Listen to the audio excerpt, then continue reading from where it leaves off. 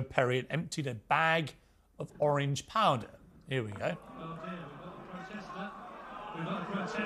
Yeah. That's really, really, really going to make me want to do more about saving the planet.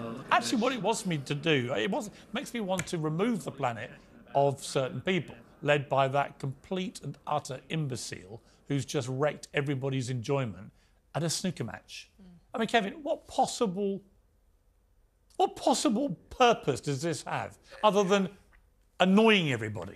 I'm not sure it does. Look, my heart might be with the, the stop, uh, Just Stop Oil protesters, but I think my head says that will be counterproductive. Of course and that it will. That will not help. Now, again, I, I believe in protest. I believe in people's right to protest, but you have to face the consequences of, Well, why of do that. why do people like this get to get away with such delinquency, but the rest of us have to follow the rules? What if we all started doing that? What if I? Oh, yeah. What if we? I what if we all started being public nuisances oh. for causes that we're Yeah. passionate?